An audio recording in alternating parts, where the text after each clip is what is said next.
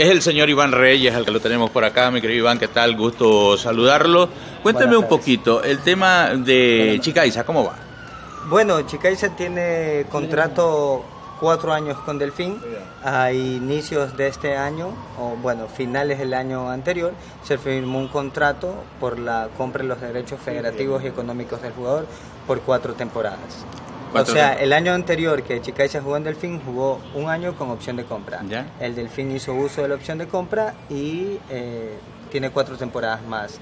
Eh, con el Delfín, el jugador. ¿Y el tema de Cristian Alemán, cómo se maneja? Bueno, Cristian Alemán ya, ya retomó, retomó los entrenamientos en Barcelona luego de este inconveniente de la autorización que faltaba y como ustedes saben, ya he estado entrenando desde la semana anterior y ya estamos esperando nada más que abran el libro de pases para poder ser inscrito y habilitado.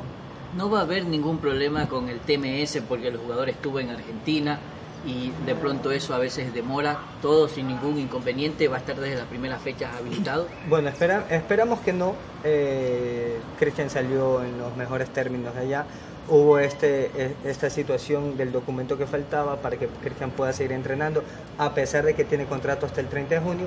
Eso ya fue cedido de parte de Estudiantes de La Plata, entonces eh, creemos que no va a haber ningún inconveniente a la hora de habilitarlo acá en Ecuador.